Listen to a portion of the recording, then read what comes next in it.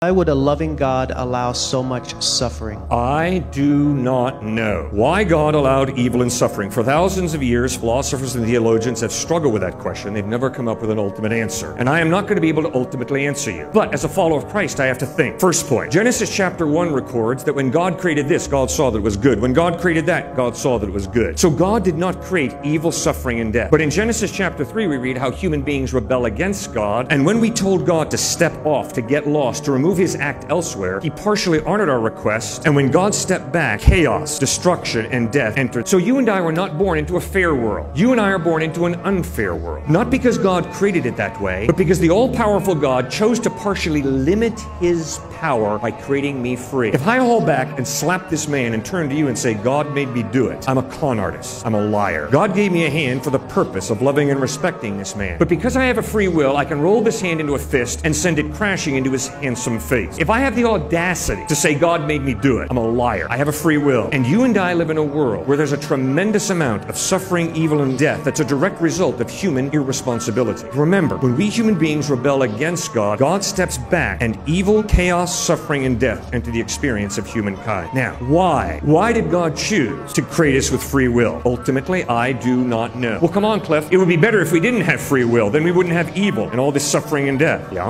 we also wouldn't have love. Because in order to be real. Love has to be free. If it ain't free, it ain't love. If he's been dating somebody for the past two months and she has said to him, I love you, and tonight his dad calls him up and says, Son, I've been paying her 1,000 bucks a month to date you, he'd be royally bummed out. Why? Because you cannot manipulate or force love. And God created us to live in a love relationship with Himself. You cannot force love. Oh, but God's all powerful. He can do anything He wants. No, that's not what the Bible teaches. God cannot make square circles. God cannot make 2 plus 2 equal 5. And God cannot make Himself exist and not exist at the same time in the same way. Impossible us. When the Bible says that God is all powerful, it means he's all powerful over his creation. But obviously, what he's chosen to do is he's chosen to limit his power and give us free will. And that's why you love. And that's why you enjoy so much when other people love you. Because you know they don't have to love you. You know that they freely choose to love you. Now, Jesus Christ commands us to feed the hungry, to alleviate suffering. And I have younger brothers and sisters, some of whom are medical doctors, some of whom are lawyers, some of whom are teachers. And because of their faith in Christ, they put it on the line. And they serve in Nepal, in India, my brother who's a medical doctor. Motivated by his faith in Christ, they serve and they love people to make a practical difference. And so, as a follower of Christ, I have no option but to give to those who are hurting. I have no option but to care for the needy because the God who created me gave me talents like a rational mind, and He holds me responsible to use those talents in order to serve others. And I don't serve others because of fear of a big stick. Instead, I serve others because I understand the truth that every single human being on the face of the planet has dignity and value because they're not accidents. They're human beings created in the image of God. Ultimately, because God is a suffering God, He has provided the solution for suffering and death, forgiveness and eternal life in heaven where there will be no more HIV positive, no more heart failure, no more cancer, but eternal life in the presence of God. Now, my atheist friend, let's go to the hospital. Come on, my atheist friend, let's go to the room where the baby lies whose body is being shredded by terminal cancer. Come, my atheist friend, what is your solution? Tough luck, kid. Your mama didn't read her horoscope. It's fate, destiny, chance. That is the despair of atheists. I, as a follower of Christ, walk the other side of the bed, and along with my atheist friend, I will hold the child's other hand. But in Jesus Christ, I have a suffering God who died on a cross, rose from the dead to give the ultimate solution for suffering eternal life in heaven.